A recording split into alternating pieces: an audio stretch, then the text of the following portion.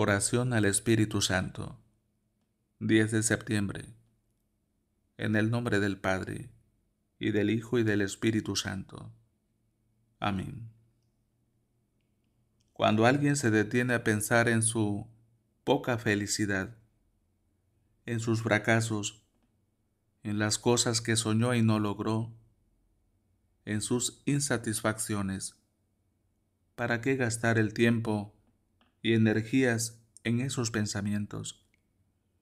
Hay que invocar al Espíritu Santo para poder adorar al Padre Dios. Lo importante es que existe Él y es infinitamente feliz.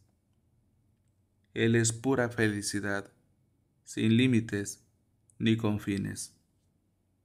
Existe la felicidad perfecta, que es Él yo puedo recibir gotitas de esa felicidad y estoy llamado a una felicidad inmensa. Pero lo más importante es que Él es feliz, inmensa y maravillosamente feliz, que en Él hay un gozo ilimitado. Solo una persona sanada y liberada por el Espíritu Santo es capaz de disfrutar con la felicidad de otro sin estar pensando en lo que no tiene. Por eso solo el Espíritu Santo puede enseñarnos a adorar. La adoración es extasiarme en la belleza y en la felicidad de Dios, de tal manera que pueda desprenderme de mi propio yo por un instante. Solo cuenta Él, solo Dios. Pidamos al Espíritu Santo que nos enseñe a adorar a Dios.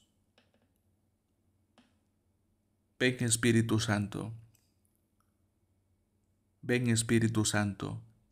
Llena los corazones de tus fieles y enciende en ellos el fuego de tu amor. Envía, Señor, tu Espíritu y todo será creado, y se renovará la faz de la tierra. Amén.